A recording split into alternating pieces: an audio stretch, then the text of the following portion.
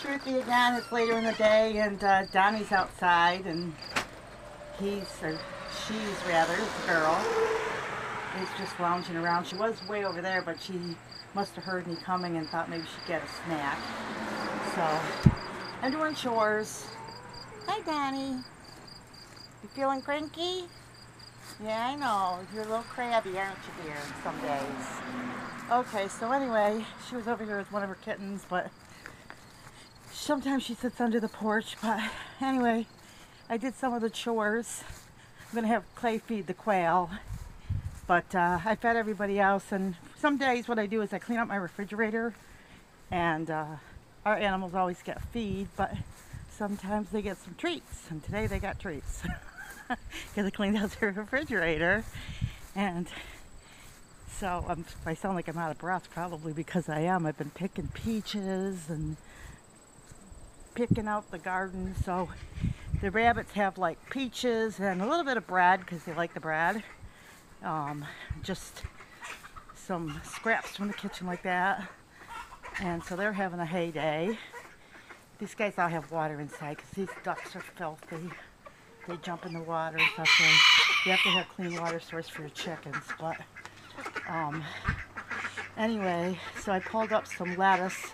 We didn't like it, so we just let it grow. And good thing because I just decided to feed it to the chickens.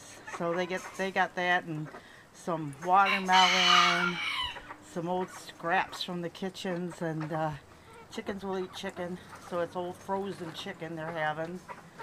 Well, it's probably not frozen anymore because I threw it out there about an hour ago. But they'll lick that clean. And uh, anything that basically you eat, they'll eat except for avocado. These guys are chowing down on peaches and uh, a little bit of bread. They were fighting over that bread for a little bit there. But uh, these guys on the other side got some cookies. But, uh, and they'll eat those along with peaches and they all had salad. I had a whole bunch of salad and I'm like, well, I guess these guys are gonna have salad. So, and they had some berries and oranges and anything that was in the refrigerator that, or in the house that I felt I wanted to keep moving. Well, you guys got better about the bread, huh? It looks like they smashed it down. So, uh, anyway, these guys are loving this lettuce. I gave a big clump of dirt with that one, so they're scratching and having fun. And these call ducks, you know, call ducks, I'm rather, the runner ducks are a little shy if I get too close, but they love that muddy water. Ducks are such a mess. They're cute, but in the winter they'll all harbor, kind of stay together. Ducks rarely go inside, but they can. They all have access to the barn. But usually the only time I've seen the ducks go inside is if they're laying an egg. But they're having a fun day. They're out here and scavenging and digging in dirt and puddles and all that. I'm over that side. I don't think you can see it. It's the clean water outside. she just threw that up in the air. But I have a lot of stuff I want to get rid of before um, I don't want to overwinter. So I'm definitely these guys. Usually this time of the year, from August to like I don't know maybe December, these guys really get a lot of chowing down because between the food that we're harvesting, the food we pick up, and the extra food that we're cooking, there's a lot of food. And the thinnest time seems to be planting time, but there's, you know, we always buy feed anyway, but that, you know, then they just get kitchen scraps that's extra. But there's always plenty to eat here for people and animals. Plenty to eat. But if you only give your critters like this type of thing, I don't think personally that they put on the weight quick if you're trying to fatten them up. So I don't know what I got into. It must be uh got purple on me. Probably ink from opening the package so I am outside, I am hot, and it's even not even that hot, but just from, like I said, going around picking stuff.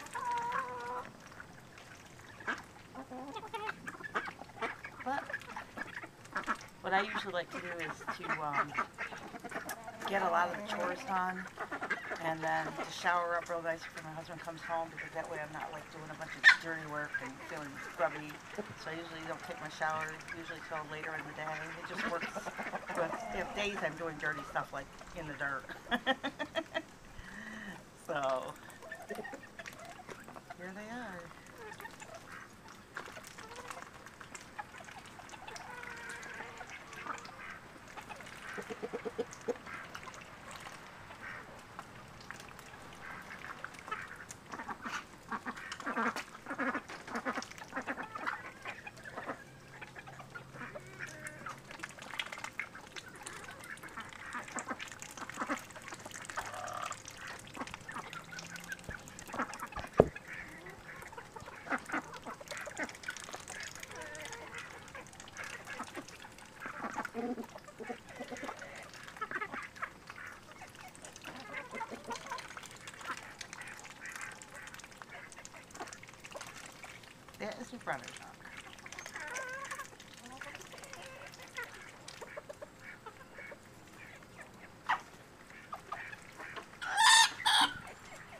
We have too many roosters, but these little bantams, they can't do too much. They attacked us a few times. It was hilarious because this was little. Oh, gotta zoom out here, guys. Yeah, I can't zoom out. So I guess get close up. Those little bantams are so funny. We got bantams and australorps. Every year we do a little different. And there's baby, that little duck we raised in the house. She's gonna be dark. Gonna be a blue.